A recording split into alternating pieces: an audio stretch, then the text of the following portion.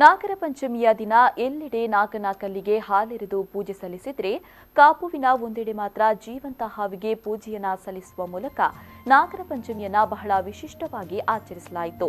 ಕಾಪುವಿನ ಮಲ್ಲಾರು ನಿವಾಸಿ ಗೋವರ್ಧನ್ ಭಟ್ರವರೇ ಈ ಜೀವಂತ ನಾಗನನ್ನ ಪೂಜಿಸುವ ವ್ಯಕ್ತಿ.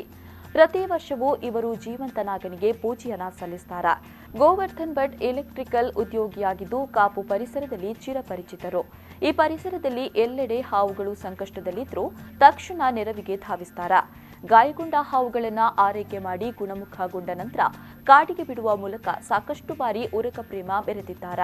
ಪ್ರತಿ ವರ್ಷ ನಾವು ನಾಗರ ಹಾವನ್ನ ಪೂಜಿಸೋದು ಸಾಮಾನ್ಯ ವಾಡಿಕೆ. ಇದು ನಮಗೆ ಖುಷಿ ನೀಡುತ್ತೆ. ಮುಂದೆಯೂ ಇದನ್ನ ಮುಂದುವರಿಸಿಕೊಂಡು ಹೋಗುವ ಇರಾದೆ ವ್ಯಕ್ತಪಡಿಸುತ್ತಾರೆ ಉರಗ ಪ್ರೇಮಿ ಗೋವರ್ಧನ್ ಭಟ್ ಅವರು.